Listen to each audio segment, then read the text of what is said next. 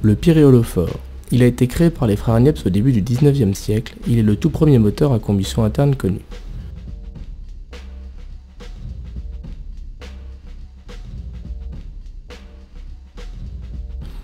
Un combustible est propulsé par un soufflet sur une flamme. Le combustible enflammé atterrit dans une grande cuve fermée où il explose.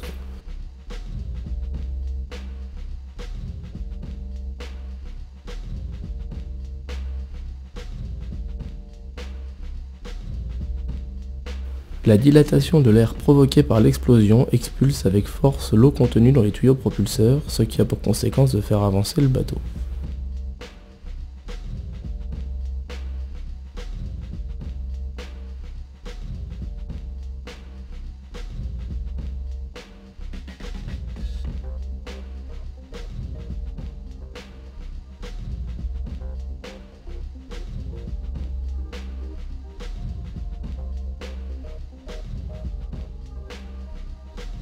Le distributeur. Il contient le combustible nécessaire au fonctionnement du pyréolophore. Il est actionné par un système de boulies, leur rotation entraîne la rotation du disque intérieur.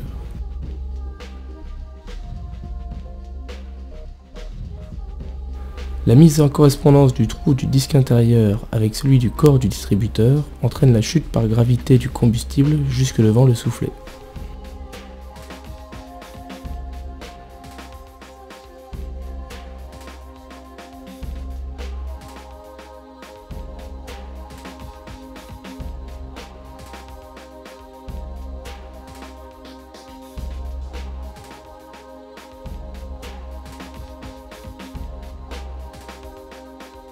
Le soufflet. Il permet de propulser vers la cuve le combustible tombé du distributeur.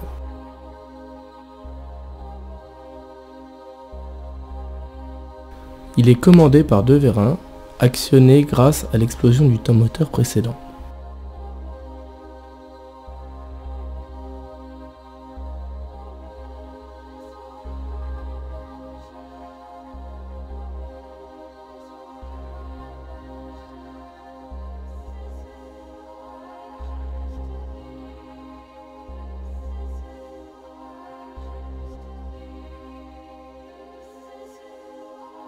L'allumage. C'est là que le combustible propulsé par le soufflet est enflammé.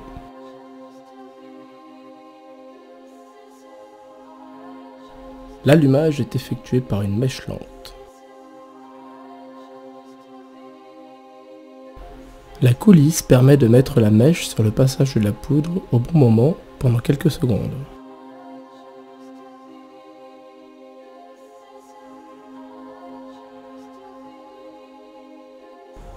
La poudre enflammée termine sa course dans la cuve où elle explosera.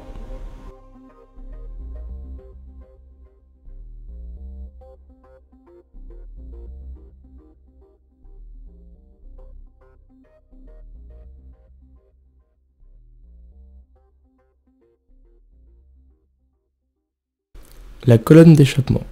Elle permet l'évacuation des gaz brûlés provoqués par l'explosion.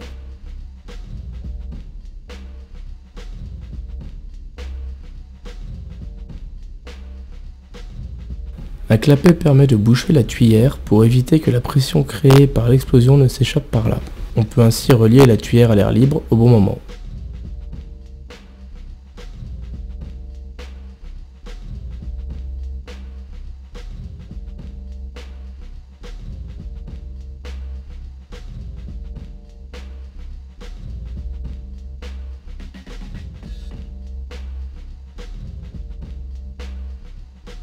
La cuve. C'est là que le combustible enflammé explose.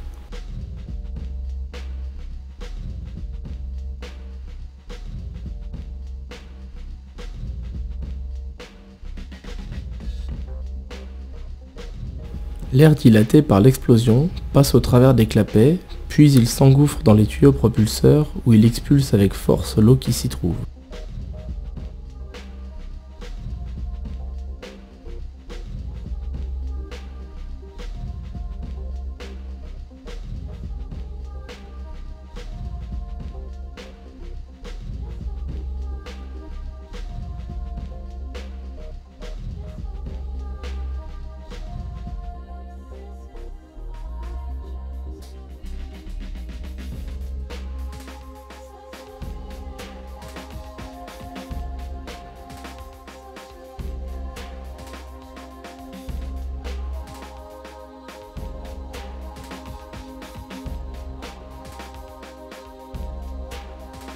Tous les éléments du pyréolophore ont besoin d'être synchronisés pour que l'ensemble fonctionne en cycle continu.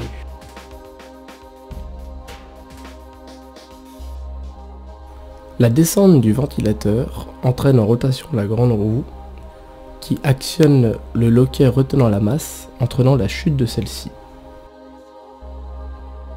Pendant sa chute, la masse entraîne en rotation la petite roue, qui entraîne à son tour la grande roue en sens inverse, ce qui provoque la remontée du ventilateur. Cette remontée facilite le transport de la poudre enflammée dans la cuve grâce à un phénomène d'aspiration.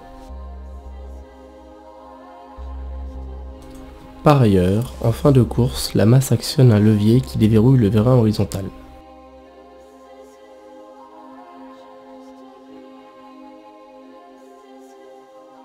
Ce vérin est actionné par des ressorts, il commande dans un même temps la distribution d'une dose de combustible, le soufflet et l'allumage.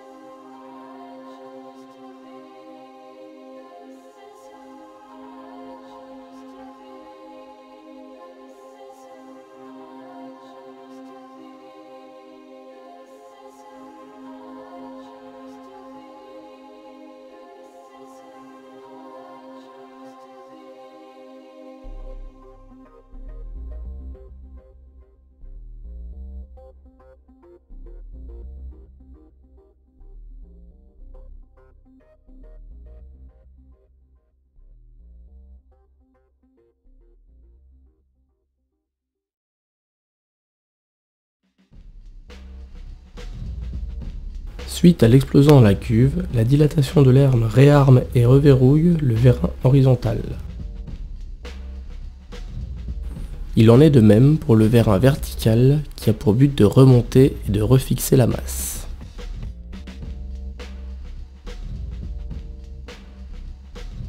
En remontant, la masse actionne la petite roue, ce qui a pour conséquence de détendre les courroies entre la petite et la grande roue. De ce fait, le ventilateur redescend par gravité, chassant ainsi les fumées et entraînant également la grande roue en rotation. Celle-ci actionne alors l'ouverture de la colonne d'échappement et par la suite actionne à nouveau le système de fixation de la masse. La masse tombe à nouveau et on a le début d'un nouveau cycle.